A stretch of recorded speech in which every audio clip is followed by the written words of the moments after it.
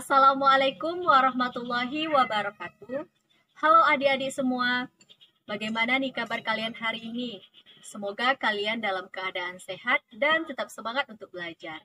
Nah, sebelumnya perkenalkan ya, nama kakak Harley Padensi dari Pendidikan Fisika Universitas Riau. Pada video ini, kakak akan menjelaskan tentang GLB dan GLBB. Penasaran bagaimana penjelasannya? Yuk simak video berikut.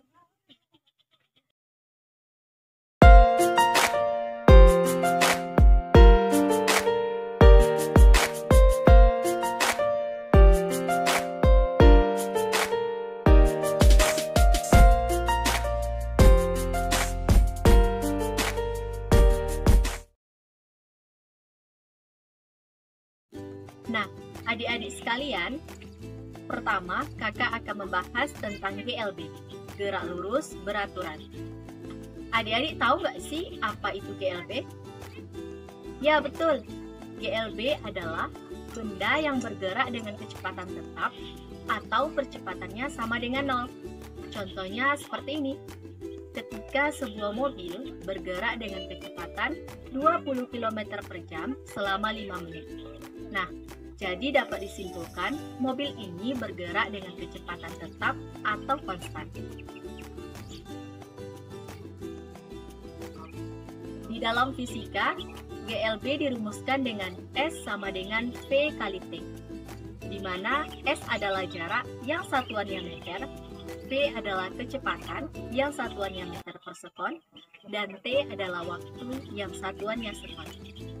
Nah, jadi adik-adik dapat kita lihat dari rumus GLB ini, faktor yang mempengaruhi GLB yaitu kecepatan dan waktu. Sehingga dapat kita tuliskan grafik dari GLB seperti ini. Nah, untuk selanjutnya, yuk kita bahas contoh soal berikut. Contoh soalnya yaitu, hitunglah kecepatan sebuah mobil dengan jarak 100 km dalam waktu 2 jam. Nah, adik-adik, untuk menyelesaikan soal ini, langkah yang pertama yang harus kita lakukan yaitu menuliskan yang namanya 2D, diketahui dan ditanya. Di soal ini diketahui S sama dengan 100 km dan T sama dengan 2 jam. Ditanya V atau kecepatan. Nah, untuk jawabannya, kita tuliskan rumus dari GLB yaitu S sama dengan V dikali T atau V sama dengan S per T. Nah, untuk selanjutnya kita substitusikan angka-angka yang telah kita ketahui yaitu 100 per 2 sehingga kita dapatkan V sama dengan 50 km per jam. Nah, bagaimana adik-adik? Apakah adik-adik sudah paham akan konsep dan contoh soal dari GLB ini? Baiklah, selanjutnya kakak akan membahas tentang GLBB, gerak lurus berubah beraturan. GLBB ini diartikan benda yang bergerak pada lintasan lurus dengan kecepatan yang berubah secara tetap. Contohnya seperti ini ketika sebuah mobil bergerak dengan kecepatan yang setiap satu menitnya bertambah 20 km per jam. Nah, jadi dapat disimpulkan mobil ini bergerak dengan kecepatan yang berubah secara terus. Nah, sampai di sini adik-adik tahu nggak sih apa beda antara GLB dan GLBB? Ya, betul. Beda antara GLB dan GLBB GLB tidak mempunyai percepatan, sedangkan GLBB mempunyai percepatan. Perlu adik-adik ketahui, GLBB ini dibedakan menjadi dua, yaitu GLBB dipercepat dan GLBB diperlambat.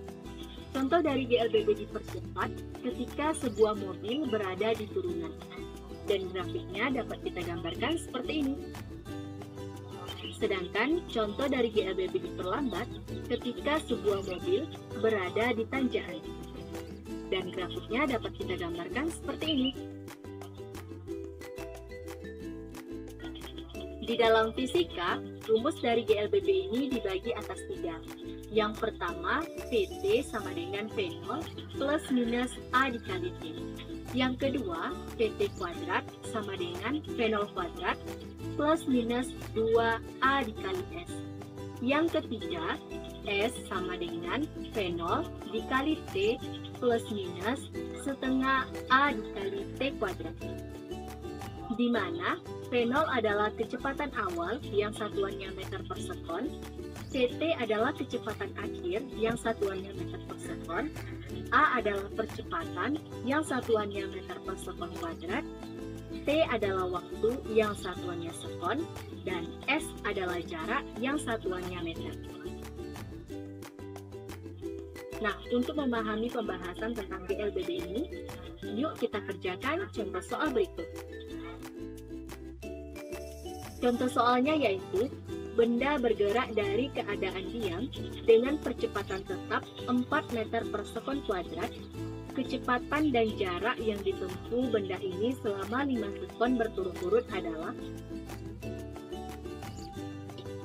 Nah, adik-adik, untuk menyelesaikan soal ini sama seperti sebelumnya ya, yaitu kita menuliskan yang namanya 2D, diketahui dan ditanya. Di soal ini diketahui V0 sama dengan 0 karena benda bergerak dari keadaan diam.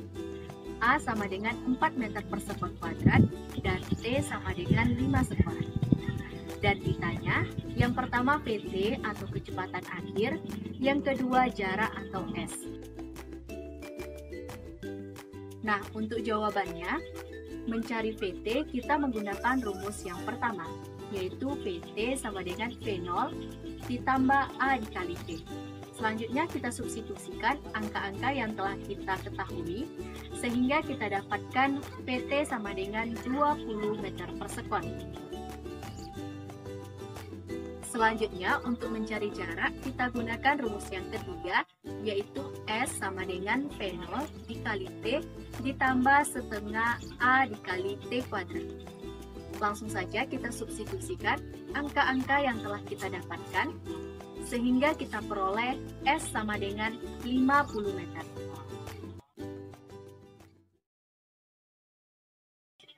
Nah, bagaimana adik-adik?